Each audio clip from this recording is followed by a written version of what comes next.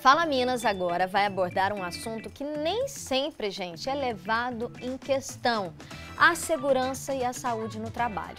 A gente trouxe né, esse tema porque o dia 28 de abril foi instituído em 2003 pela Organização Internacional do Trabalho como sendo né, o Dia Mundial de Segurança e Trabalho e Segurança e Saúde no Trabalho, em memória às vítimas de um acidente com mortes né, ocorrido em uma mina na cidade de Virgínia, nos Estados Unidos, no ano de 1969. Aqui no Brasil, o dia 28 de abril também é lembrado como Dia Nacional em memória das vítimas de acidentes e doenças do trabalho. E a título de curiosidade, você sabia que mais de 100 bilhões de reais são gastos pela Previdência, né, resultantes de acidentes de trabalho? Isso, gente, desde 2012, segundo o Observatório de Segurança e Saúde no Trabalho.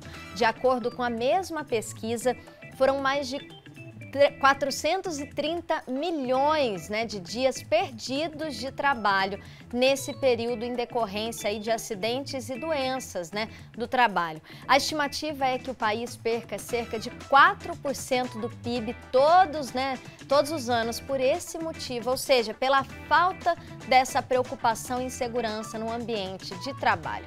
Até por isso, é essencial, gente, que a empresa esteja atenta à segurança e à saúde no trabalho, para evitar que qualquer tipo de acidente ocorra no ambiente corporativo.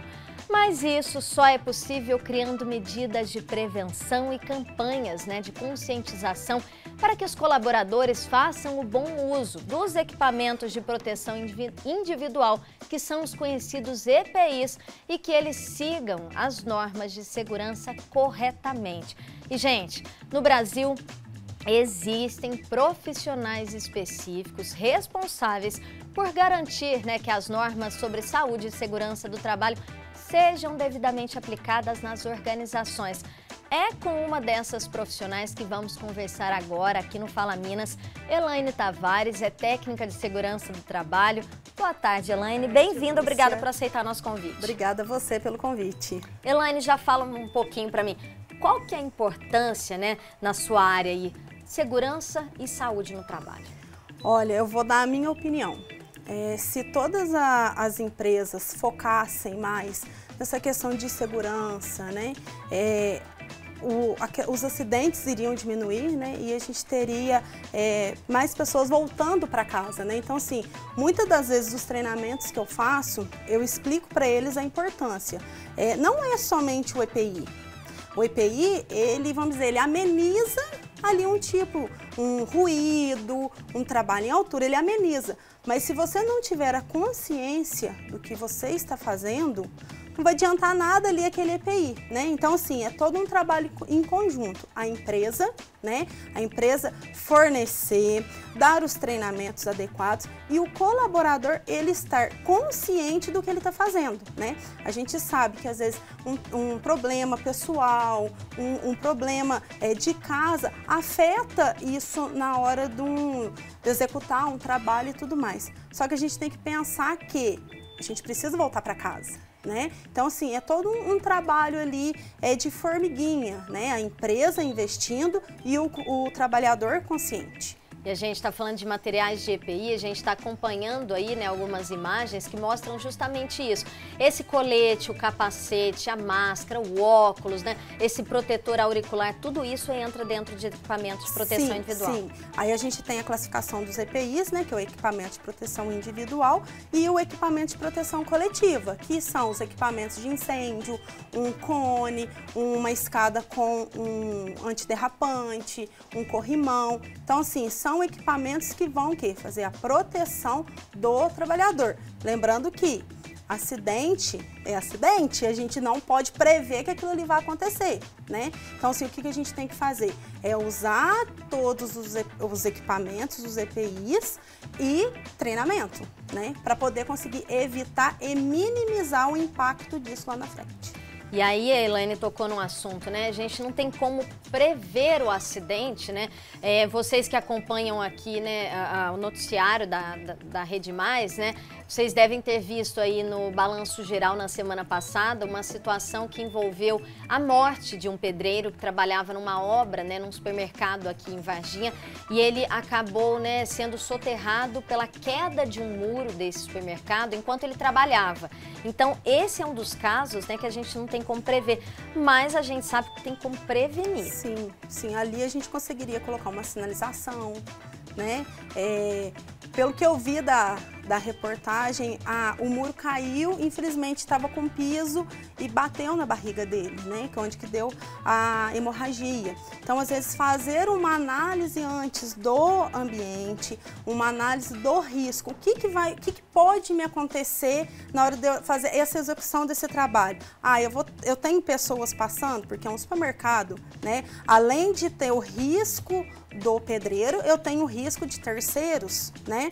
Então, assim, o que, que eu posso fazer como empresa para quê? Para prevenir isso. Ah, eu vou ter que colocar uma escora para não ter o risco desse muro cair.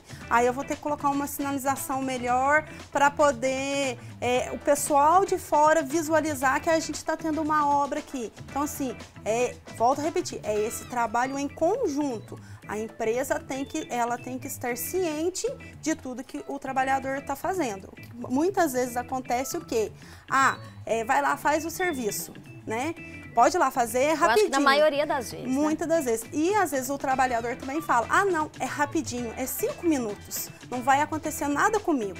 E é nesse momento é que acontece, né? Então, a gente chama análise preliminar do risco é para ser feita antes de executar a atividade e você analisar todo esse ambiente. Se eu vou ter um ruído, qual protetor que eu vou usar, qual outro EPI que eu preciso utilizar, você entendeu? Então, a gente tem que fazer essa análise antes do início da atividade. Você tocou, né? Você falou em riscos, né? Sim. E aí houve mudança, né? A gente estava conversando um pouquinho antes Sim. da gente entrar ao vivo aqui. Você me disse que antes eram as mudanças, né?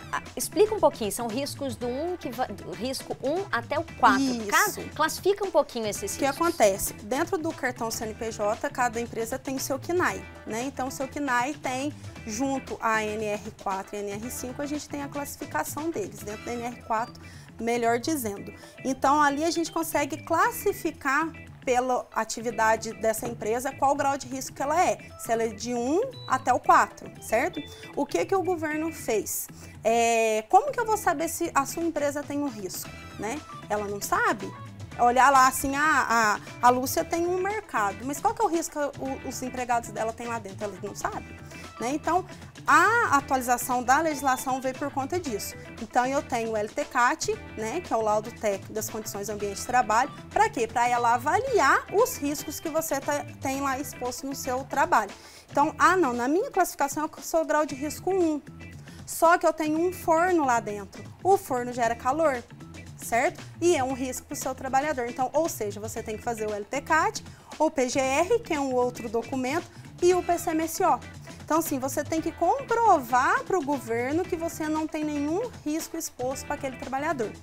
Comprovando a exposição deste risco, você tem que fazer o envio do E-Social, que é o envio mensal dessas informações, para que o governo saiba dessas obrigações que você está fazendo. Se você está fornecendo EPI, se você está fornecendo treinamento. Então, assim, o E-Social veio hoje para isso, né?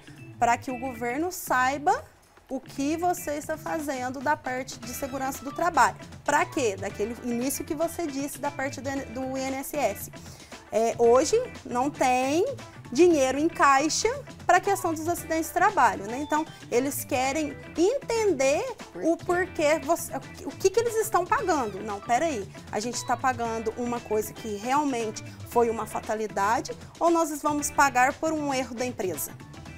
Entendeu? E aí é muito interessante quando eu disse também na abertura, né, que as pessoas se preocupam pouco, né, muito com pouco. essa segurança no trabalho. A gente só fica sabendo depois que o acidente Sim. acontece. Né? Infelizmente. Né? Hoje as empresas, a gente tem muita empresa que investe em segurança, que tem políticas é, muito boas da parte de segurança. A Varginha tem muitas empresas que fazem isso, mas infelizmente ainda temos poucas que investem, principalmente as menores, né, que não sabem dessa importância que tem, né? Porque sempre fala assim, para quê? Nunca vai ter uma fiscalização aqui para mim. Eu nunca, sabe, nunca vai ter um acidente e é onde acontece, né? E é aquilo, né? As empresas, às vezes as pequenas principalmente, se preocupam ali com os impostos que Sim. tem que recolher, então ali o contador, Sim. né? A, fisca... a vistoria, às vezes inicial do prédio que é feita pelo Corpo, Corpo de, bombeiros, de Bombeiros, e aí pronto, pronto. Ah, já abriu, meu negócio está funcionando Sim. e pronto, morreu Já ali. estou pronta ali, não preciso de mais nada. E não é assim. Não, e que a gente tinha conversado antes, o cliente que não tem, vamos dizer, risco nenhum visivelmente, entrou em contato, olha, a minha contadora pediu para que eu faça isso. Então, ou seja, olha que legal do contador é, instruir o seu cliente, mostrando para ele do risco que ele tem, porque lá na frente, na hora que vier uma multa, o, o cliente vai falar assim, opa, mas você não me avisou, né? Então, assim, é importante que os escritórios de contabilidade alertem os seus clientes sobre, porque assim, é uma multa que vai chegar, a gente não sabe a hora, mas ela vai aparecer em certo momento. Então, já que a gente pode já fazer, por que, que a gente não faz? Né? Então, assim, é um investimento para o futuro. Né? E a aí gente... Ah. é o que a gente fala também, né, Elaine? Não é só pensar no futuro, mas é quando a gente fala vai mexer no bolso do empresário, vai mexer no bolso do, do, do, comerciante. Aí talvez é a hora dele parar e pensar, mas eu vou ter que pagar uma multa, ah, eu não sei o valor da multa, pode ser uma multa cara. Ah, então fazer o quê? Eu vou investir na segurança e saúde no trabalho aqui no meu local, né, na minha, na minha empresa, no meu ambiente corporativo pensamento, infelizmente, do brasileiro ainda é assim, né, Sim, é tudo para depois. Né? Então, é, a gente não pode pensar isso. Tem, nós temos que pensar o seguinte: é um pai de família, é uma mãe de família que eles querem voltar para casa, né? Então, assim, a empresa tem que ter a consciência desse investimento que vai lá para frente ela vai ter o retorno né? É, é, um, eu brinco que a gente vai catequizando o, os colaboradores, porque hoje você ensina, amanhã ele esqueceu, depois você volta de novo e assim sucessivamente, até ele aprender. E ele aprende. Né? E aí, falando em aprendizado, isso faz parte da rotina. Sim. Se, se ele entender que aquele EPI ou aquela né, questão que você passou ali, né, o, o técnico de segurança de trabalho passou para ele, tem que entrar na rotina, isso ele já muda. Isso. Aí ele já sabe, nós, a gente, nós, técnicos de segurança, nós somos vistos como os vilões, é, como os chatos, né? Mas o que, que a gente quer? É, a gente quer ver o pessoal voltar para casa, a gente se preocupa, né? E é assim, a gratificação é muito boa, é, que no final do dia muitos ainda vêm para a gente e falam assim, ó, muito obrigado. Se não fosse por você, por, é, pela sua instrução, por você ficar enchendo o nosso saco, eu poderia não estar aqui mais. E aí a gente vê também né, alguns acidentes de trabalho envolvendo ali, ah, eu vou fazer, vou fazer o uso de uma máquina, é rápido, não vou pôr a luva, né? Ou eu tô num açougue, o açougueiro tá lá, tem aquelas luvas Sim, de aço, de né, que a gente aço. de malha de aço que a gente vê às vezes fala, nossa, parece Sim. lá da época medieval e você vê ele usando ali, aquilo é fundamental para o trabalho. E assim, a gente de fora é, olha e fala assim, poxa vida, a empresa está preocupada com ele, né? Então, assim, é, a gente de fora tem que ver isso. É a mesma questão da parte de incêndio. A gente que vive na área, é, eu já entro nos lugares, eu já olho, né? Ó, oh, não, aqui tem uma saída de emergência, ou aqui tem um extintor. Por quê? A empresa e o local, elas estão preocupadas com aquilo, né? E, e fora isso, é você treinar o, o, seu colaborador. Não adianta nada você entregar uma luva e falar assim, ó, toma, tá aqui. Então, você tem que ensinar ele como ele vai utilizar. Né? Excelente. Olha só, gente, tá vendo? Isso vale não é só para grandes empresas que tem mais de 50 funcionários com, né, que a gente brinca, né, peão de obra, não, viu, gente? Linha de produção, não, isso vale, a gente deu um exemplo aqui, olha, que uma contadora, né, falou para o cliente, o cliente é uma academia, sabe? É uma academia aqui em Varginha que foi buscar saber, opa, como é que eu posso melhorar a segurança aqui para não ter que mexer no meu bolso lá na frente. Então, Elaine, muito obrigada, parabéns pelo trabalho obrigada. e agora eu vou ficar mais atenta aos locais que eu chegar. Saída de emergência é muito importante, é, é, o extintor. É umas coisas que a gente não presta atenção. Uhum. E a partir do momento que você aprende, que você entende o que é aquilo, você tem um olho mais clínico. Então, isso é, é, é legal. Dia da Elaine foi, né, dia 28 aí, né, dia 28, ontem, domingo, que foi dia mundial aí do, da segurança no trabalho, então parabéns, Obrigada. Elaine?